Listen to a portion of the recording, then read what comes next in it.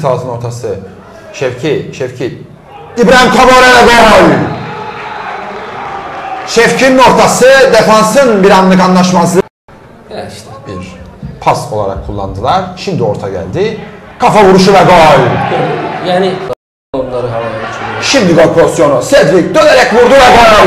Ve bunun hemen arkasından bu golün gelmesi de başka bir anlam taşıyor. Evet. Sevgili Urcan Van Göl'ün anısı adına balonlar havaya bırakılmıştı ki Cedric ceza sahasına topla buluştu. Dönerek biraz da böyle düşerek vurdu. Çetin Kaya yaptı. Şimdi gönderen top. Arif eliyle vur topa. Dönen top ve gol. Dönen top top ağlarda. Arif de kaleci Arif de yerde. Bir de faul itirazı var Türkmenköylü futbolculardan. Bunu da bu pozisyonu da görüntüye getirsin yönetmenimiz lütfen. Bakınız. Top. Burak.